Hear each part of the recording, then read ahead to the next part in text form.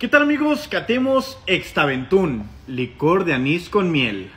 Esta bebida es una bebida maya y se creía que esta bebida era entregada a sus dioses. Ahora se produce en el estado de Yucatán, en México. Es un licor de anís que se agrega un poco de miel para dar color, textura, aromas y sabores.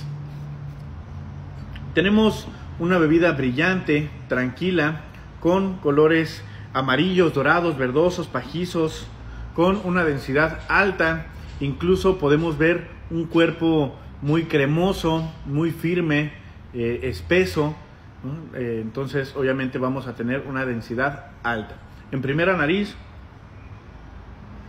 sentimos la presencia de la miel muy bien marcada, del anís muy fresco, algunas notas herbáceas, flores blancas.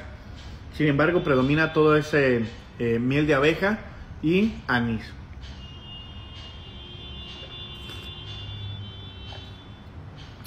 En boca sentimos inmediatamente el anís, mucha, mucha miel, mucho azúcar, mucho dulzor, como jarabe mieloso.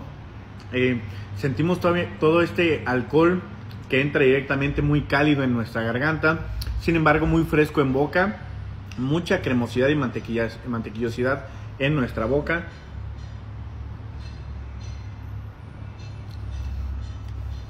Sentimos eh, toda esta viscosidad y nuestro eh, alcohol con mucha textura en nuestra boca, muy fresco.